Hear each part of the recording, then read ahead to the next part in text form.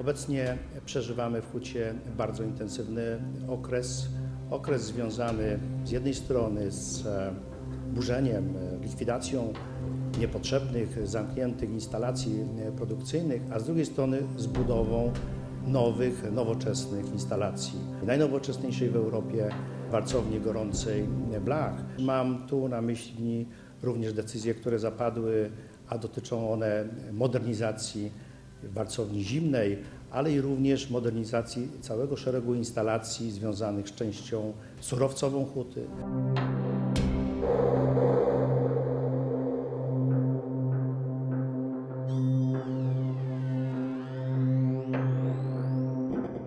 Od 2004 roku krakowska huta należy do grupy Mittal, a obecnie do grupy ArcelorMittal, największej światowej globalnej firmy produkującej stal.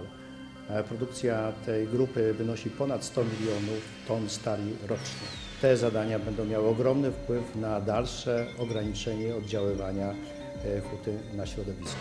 Budujemy po prostu przyszłość huty w Krakowie.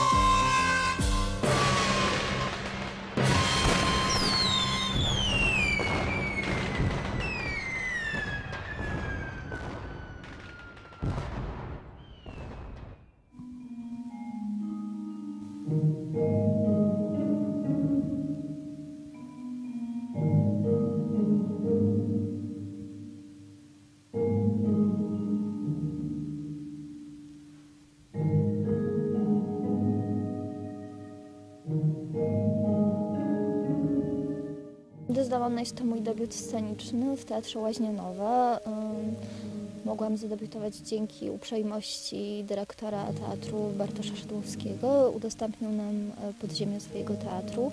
E, Scena nazywa się Pi. Przeznaczona jest dla młodych ludzi, którzy mogą mierzyć się z materią teatralną pod opieką profesjonalistów. No to się tak gapisz, no nie rozumiesz? On ci przyłoży, potem ty jemu, a potem już jak kto woli. Mężczyźni ci płacą za to, żeby cię bić? Tanie to to nie jest. Ale u mnie jest zasada.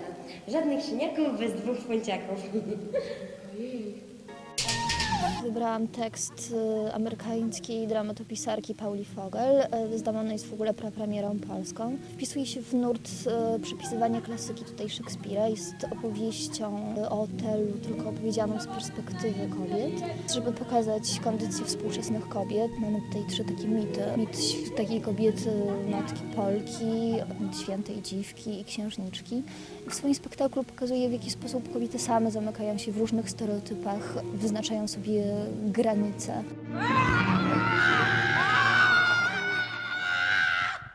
Gdybym znalazła mężczyznę z taką akurat kopystką? Mocnym punktem mojej inscenizacji jest scenografia zaprojektowana przez E, skończy. Umieściła bohaterki e, w kubie, pudełku dla lalek, e, porozdzielanym przegródkami. Właśnie w tak małej klaustrofobicznej przestrzeni rozgrywają się ich małe dramaty. Twój sekret będzie moim. W najbliższym czasie planuję e, rozpoczęcie działań nad projektem Wy- Wyspiański, a w późniejszym czasie nad Królem Iran Szekspira.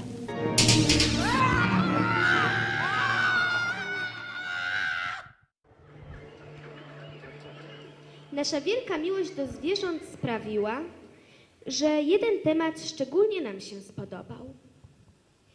Ptaki wiślane i warunki ich bytowania to wielkie wyzwanie dla nas.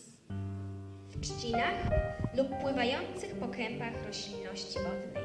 Pracownia Animacji Ekologicznej Ośrodka Kultury Norwida w tym roku szkolnym 2006 na 2007 realizowała program edukacyjny Frontem do Wisły.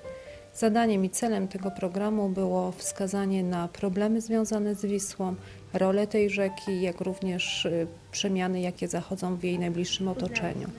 Młodzież krakowskich szkół przez cały rok przygotowywała się do turnieju wiedzy o środowisku i w tym roku e, nowa formuła zakładała, że zespoły projektowe opracowują swoje autorskie projekty związane z tematem Wisły. Wisła.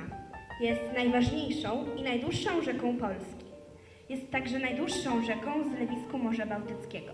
14 turniej wiedzy o środowisku był sposobem na zaprezentowanie powstałych projektów. W tym roku powstało 9 projektów. Były to projekty związane z ptakami wiślanymi, z projektami architektonicznymi i wszelkimi zmianami, które wokół Wisły młodzież widzi, chciałaby Rzeka dostarcza pokazać. surowców jak piasek, żwir i trzcina. Gnieździ się na ziemi, palach ostróg, dachach domów.